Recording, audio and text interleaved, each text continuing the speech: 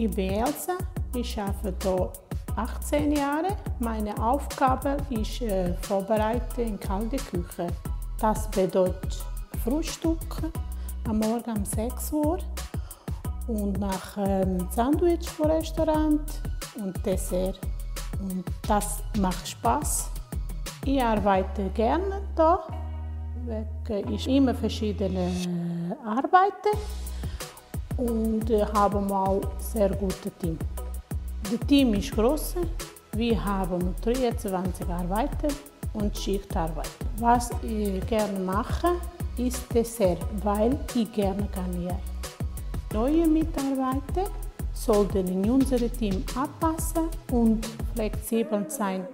Es wäre schön, wenn Sie in unser Team kommen.